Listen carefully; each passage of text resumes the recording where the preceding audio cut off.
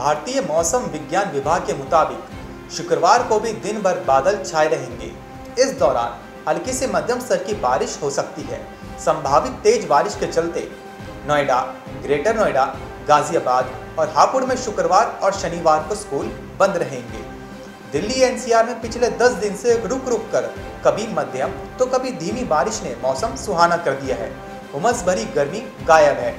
तो सुबह और शाम मौसम का मिजाज पूरी तरह बदल गया है। न्यूनतम और अधिकतम तापमान में कमी आने के चलते लोग एसी कूलर बंद कर सिर्फ़ पंखे से काम चलाने को मजबूर हो गए हैं, खासकर रात के दौरान। इस बीच भारतीय मौसम विज्ञान विभाग के मुताबिक शुक्रवार को भी दिन भर बादल छाए रहेंगे। इस दौरान हल्की से मध्यम स्तर की बारिश देखने को मिल सकती है और शुक्रवार को पूरे दिन अधिकतम तापमान 29 डिग्री सेल्सियस एवं न्यूनतम तापमान 24 डिग्री सेल्सियस रहने की संभावना है। इसके बाद दो तीन दिन थोड़ी हल्की बारिश होगी और 21 सितंबर से फिर वापस तेज बारिश होने का पूर्वानुमान है। कुल मिलाकर पूरा सितंबर दिल्ली एनसीआर के इलाकों को भिगोएगा। उधर दिल्ली से सटे उत्तर प्रदेश में भारी बारिश को देखते हुए सत्तासीन योगी आदित्यनाथ सरकार ने दो दिन यानी कि 17 और 18 सितंबर को प्रदेश के सभी स्कूल कॉलेज को बंद रखने का ऐलान कर दिया है। सीएमओ की तरफ़ से ये जानकारी दी गई है। लगातार हो रही बारिश को देखते हुए प्रदेश सरकार ने ये फैसला लिया है। ऐसे में दिल्ली से सटे नोएडा, ग्रेटर नोएडा, गाजियाबाद और हापुड़ में स्कूल बंद रहेंगे और स्कूल अब सीधे सोमवार को ही खुलेंगे।